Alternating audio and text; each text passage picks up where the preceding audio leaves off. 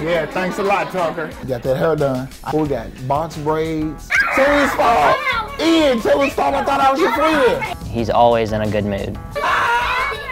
Well, you hear him before you see him.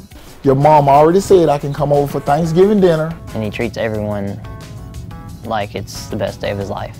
Having a good day? Show me love. Mm. The man everyone at Barret's Chapel School loves so much is someone most students would normally fear. Asha.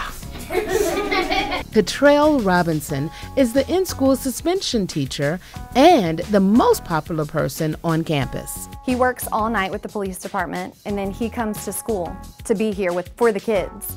And you know, there's not many people that will put others before themselves, and that's what he does every day. He is everywhere at our school. He works with our children. He sees problems before they happen. He averts disasters, but he mentors and is a role model.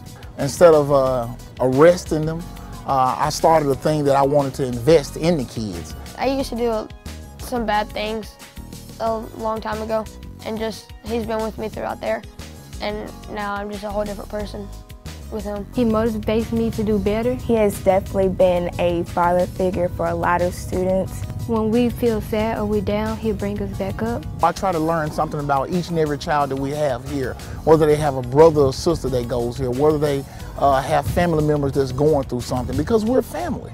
Now Mr. Robinson must say goodbye to his Barret's Chapel family. He's being deployed to Iraq. We're gonna miss him a lot. It, tons. We're gonna miss him tons. I will definitely miss his jokes.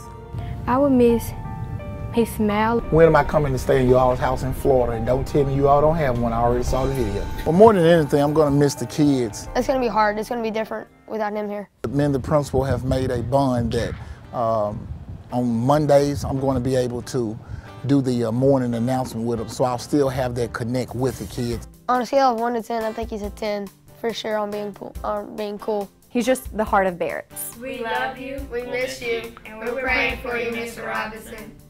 Bye bye, y'all. Take care. Pam, look at you. Hey, my Carly.